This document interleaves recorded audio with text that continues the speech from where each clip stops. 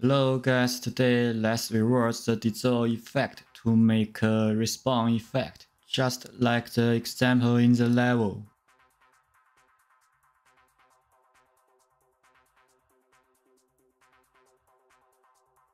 Okay, let's create a Niagara system. And select GPU scene. Add a spawn rate in emitter update the value is 50,000. Then let's change sprite size, uniform, and default value is 10. Okay. Now we need to set particles start position and end position. The start position, we can use a shape location. It's a sphere, okay? Then we add the upward offset of the axis. So we can get an effect of emitting particles from top to bottom. 500. Let's see it in the level. Okay. Then we need to create two vector parameters. First is start position. This parameter is the position of our sphere. So let's find sphere position. Then we need an end position.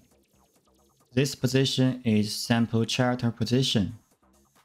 We can add a skeletal mesh location. This module can output a sample character position. Let's set a preview mesh. And we use surface triangle. Okay, now we get a sample character position. Let's create another vector parameter. Set the value to sampled position. Finally, we use start position as particle position. Then in particle update, we need a linear force. Here we need to give it a multiply by float. Vector we need a subtract. Use end position subtract particle position. That is the position of the skeletal mesh minus the current particle position. This will get a force in the direction from the current particle position to the sampled skeletal mesh position. Also space is world. And float we need a curve 0 to 1. Scale curve we can set it to 10. So the actual range is 0 to 10. Then we add a curl noise force. Noise strength also occur. 1 to 0. And the scale curve is 500. Noise frequency is 25.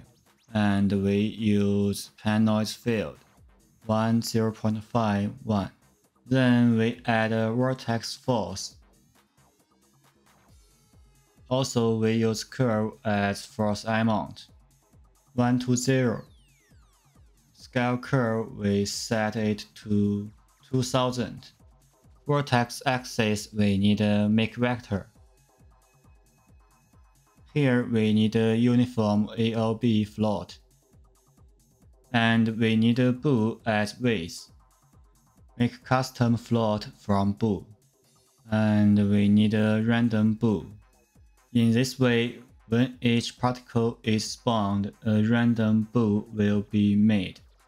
If the output value is true, that is 1. If it's false, the axis will be negative 1. So we can get two different directions, just like in the preview. We can copy this node to other axes. Okay, we get this effect. Then we add a drag. Drag value is 3.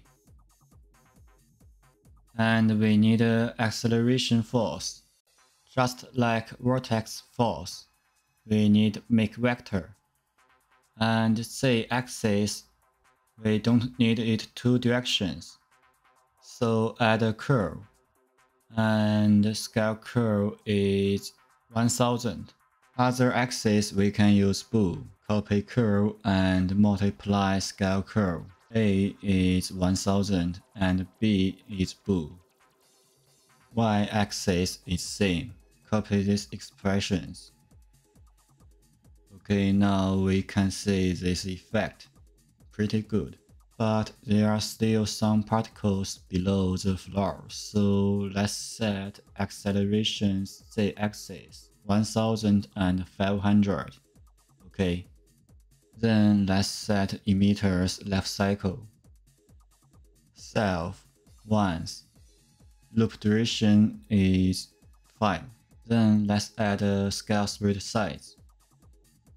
0 to 1 to 0.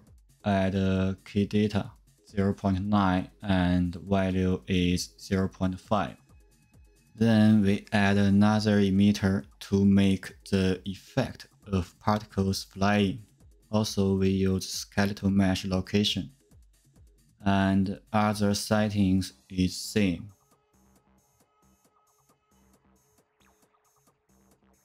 Sprite size, we can make it smaller, maybe 3. And lifetime is random. Mean is 1, max is 1.5 and we need to make this emitter spawn when the particles merge. So we can use loop delay and the value is 5.5 and this emitter's sprite size is 32. Okay, it looks better. Now let's change character's material. We need a set material attributes, add opacity mask and the material function dissolve edge. This material function we created in previous video. Then we need a material parameter collection to control the parameter. Add a collection parameter. Select the parameter mask. And the texture we can use a noise texture. Save the material. Okay, we can see it work. In the level blueprint, let's add a timeline to control parameter. Two key data is 00 and 31. Okay. Then add a lerp. A is 0, B is 1. And we need a set scalar parameter value to control material parameter collection. Let's play Oh, the charter is already here. It's a mistake. We need a delay in level blueprint. This time should be longer. Let's see the Niagara system. At this point, almost 12 should be fine. That means we need to delay 12 seconds. Let's see.